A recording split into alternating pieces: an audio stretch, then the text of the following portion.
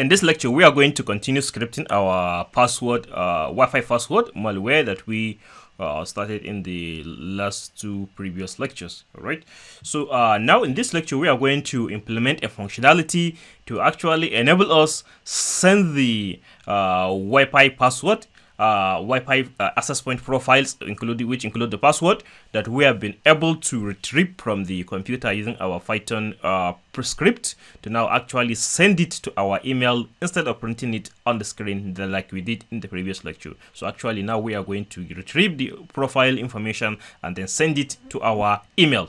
All right. So to achieve that, we are going to implement uh, another function just as we have it in our algorithm and in our program plan we are now going to implement function send email that will actually send the email to us. So I'll just come over here and then I'm going to define a new function and then I'm going to call it uh, send mail. So send uh, mail, right? So um, and I'm going to make use of this to actually send the email. Okay. So now to achieve this uh, sending email using Python, we need to make use of a module called SMTP. So I need to go off there and import this module. So I'll just come off here and then I'm going to write import uh, import SMTP live uh, simple mail transfer protocol library. So basically this is the module that will enable us to actually send an email using Python.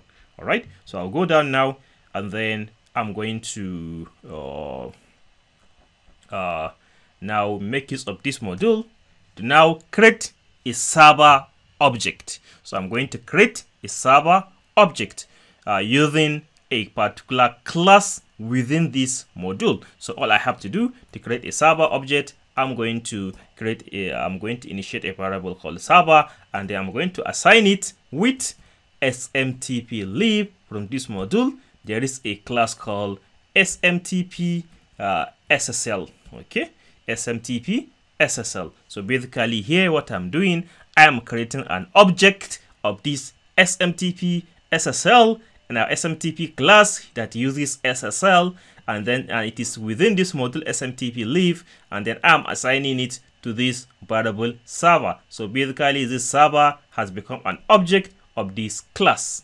SMTP SSL all right so now the next thing bit i need to pass uh, some fields within this class. So the fields within this class i'm going to uh, pass the name the host name of my server and the port that i want to connect that uh, to that server uh, with. Okay? So basically i need to pass the name of the host name of my server. Okay? So i can make use of my server uh, to send email if I have one and if I don't have one uh, Google provide us with an SMTP server that we can use to send email. So, and that is what I'm going to use. So the name of the server is smtp.gmail.com. So I'm just come over here and I'm going to write it smtp smtp.gmail uh. All right, the gmail.com, and then I'm going to connect to that uh, to this host, which is basically a computer. This is the host name of that particular SMTP server. And then I'm going to connect to that port, uh, to that machine, to that server over port 465. So I'm connecting to it over port uh, 465. So 465. Okay. So now I've created a server instance Google uh, Gmail server instance using my SMTP SSL class from module SM, SMTP lib.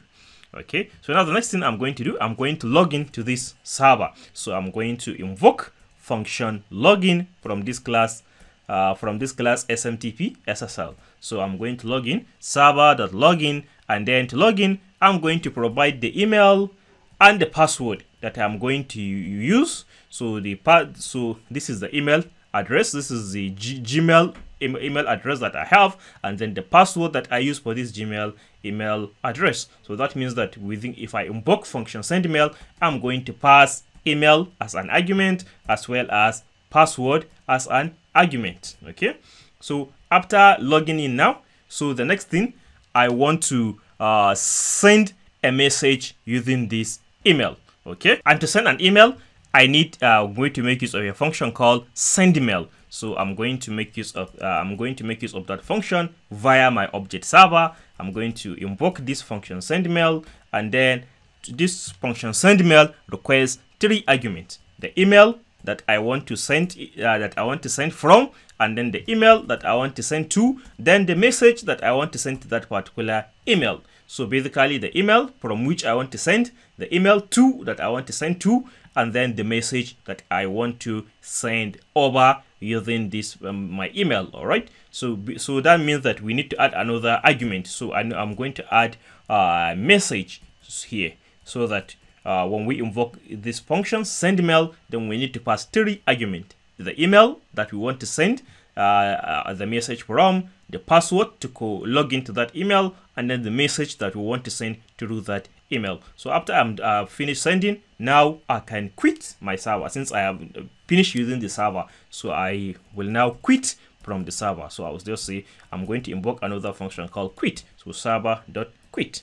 It is just as simple as this okay so now to invoke this function i'll just come off here and then i'm going to invoke this uh, retrieve Wi-Fi password. So we have invoked retrieve Wi-Fi password, and then this Wi-Fi password will now is going to return profile result. Okay, so now I can just come up here and create a new uh, variable. So let me call it profile result again. So profile uh, result, uh, profile result now equals to retrieve Wi-Fi password. So retrieve, retrieve Wi-Fi password is a function that will run and get me all the uh, information of the access point profiles that is saved on the victim computer. And then it's going to return that information to me and then I'm assigning that information to variable profile result.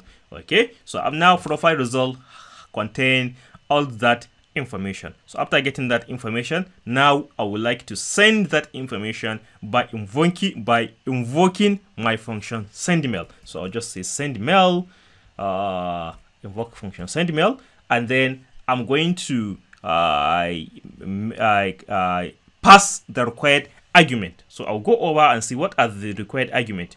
Email, password, message. So I need to pass the my email, my password, and then the message that I want to send. All right. So I need to uh, initialize uh, uh, more variables. I need to initialize my variable. So let me initialize a new variable. I'll call it email, and then I'm going to pass it the value. Uh, uh initialize it with my email address. So I'm going to my email address. I already have it here that I'm going to use for this particular lecture. Uh, rootkit112 at gmail.com. So I'll just come up here and then I'm going to write it root uh, kit 112 at uh, at uh, sorry at gmail.com. Uh, so that is the email that I want to send to. Okay, so now email and then the password. Now the next thing, I'm initialize a new variable called password and then I'm going to initialize it with my password. So I'll just go over here that I've already uh, have the password for that particular email address. So let me just copy it. I'll copy it and then I'll come over here and then I'm going to paste it here. As simple as that. So now when I invoke function uh, send mail, now, as, as according to the function definition, I'm going to pass email as in an argument. So I'm passing email as argument, followed by password, followed by password that I have here, then followed by the message that I want to send. Now, the message that I want to send is profile result. Okay, so I'm done with my my malware, my Wi-Fi uh, password stealing malware. But I cannot send it at this moment instantly.